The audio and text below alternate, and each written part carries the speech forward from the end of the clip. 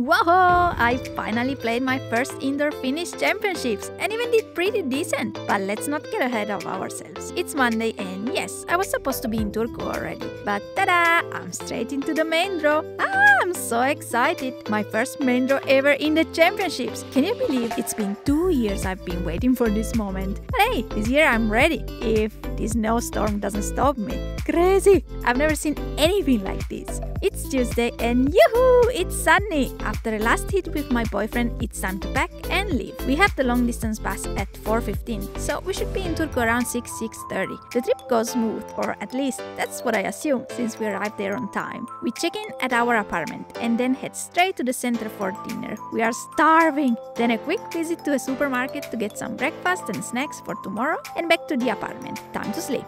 It's Wednesday and the alarm clock rings pretty early. Oh yo yo, it's freaking freezing! Lucky for us, the bus arrives right away, so we don't even become ice cubes. Little walk to the club and then time to figure things out. It's still early and plenty of warm-up courts, so not only we get one, but we are even free to choose the one we want. And never seen anything like this. We also get warm-up balls. Nice! We warm up for about 40 minutes, and yes, feeling pretty good. I still have half an hour, so I refill the bottles, check I have a banana and some salt, and voila, a little goal recap before the match starts. The girl I'm playing, Emma, is currently ranked number 36 in Finland.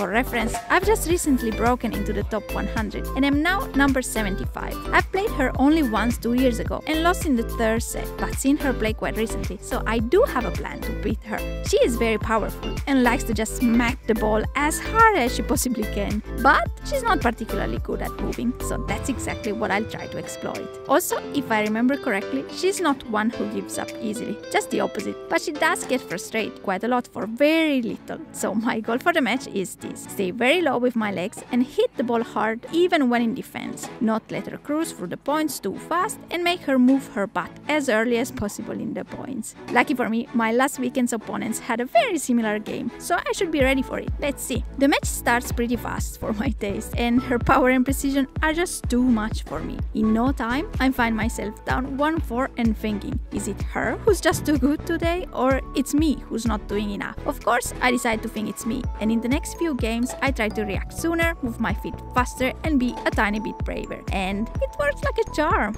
She's suddenly in trouble, and I manage to turn the score around to 4-5. She's now super frustrated, as expected, but my focus drastically falls as well. So we play two free games so bad, I feel sorry for the few spectators who are watching us. On 6-5, I find my game again, and it's all downhill from there. I close the first set 7-5 and cruise through the second 6-0. Yay! I'm so happy and proud! I made it! Then shower, recovery drink, and time to cheer up my friends while snacking. After half a day of tennis as spectator, we decide it's enough. So we take the bus and get back to the apartment for some real rest. Little nap, some super needed Theragun, and then time for dinner. Sushi again, of course. Food that works, we don't change. Then the usual stop at the supermarket and to bed. It's Thursday, and after our smoothie and nuts breakfast, we head to the bus stop once again. If yesterday was freaking cold, today is I don't know what. And as a cherry on the cake, the bus is in 13 minutes. Great! Once at the club, we have a shock. There's not a single free court to warm up. At least I'm not in a hurry today. My match is at 11.30, so before the men start at 10, they'll go get ready. One day, lucky for me, some of them do. So I do finally get to warm up my shots. And yes, feeling pretty good again. Everything's ready, so I can relax and watch some good tennis in peace. Time flies, and it's almost my turn. So I hurry to the bikes to get my legs warm again, do some footwork exercises, and just when I'm recapping my plan for the match, they call me. Let's go kick some The girl I'm playing today is another Emma, and she's good. She is seed number 5 and currently ranked number 17 in Finland. But that's not why I know she's good. The reason I know is because she kicked my butt and served me a sweet double bagel back in March. But today I'm determined, and no, that's not gonna happen. She's one heck of a hitter and can do winners from any position with her forehand. Her backhand is not bad either, but definitely hurts less. So that is where I'm going to aim 80% of the time. She also has a lot of touch and moves well, so not an easy opponent. The match starts as fast, if not faster than yesterday, and I find myself down again 1-4 in no time. That forehand is a killer. Oh my goodness! I try my best every single point, but my best is just not good enough to give her trouble. And whoa, I'm doing side to side the whole time. I do sometimes manage to hurt her with my backhand, but that's pretty much all. She must really love my balls and pace because she's really impeccable.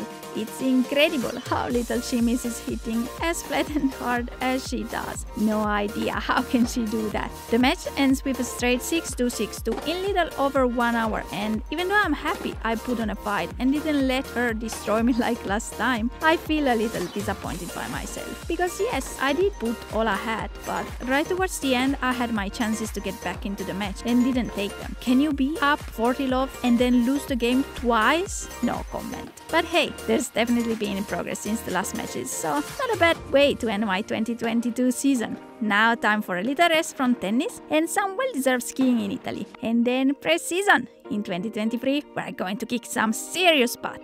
Hope you enjoyed this video. If so, smash the like button and subscribe for more tennis life. I'll see you in the next one.